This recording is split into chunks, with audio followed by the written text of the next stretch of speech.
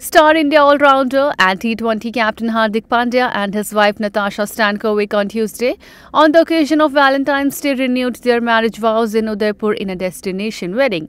The couple had earlier tied the nuptial knot during the pandemic phase, which was more of a hush-hush affair. The wedding rituals on Tuesday were performed as per the Christian rituals, along with the white theme.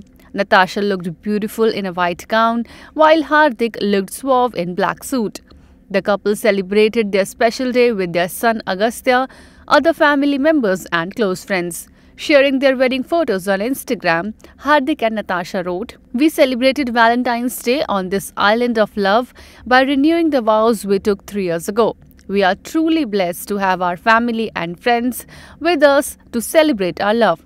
The comment section of their post is filled with congratulatory messages. According to the sources, Hardik and Natasa will also take marriage vows according to the Hindu customs. IANS report.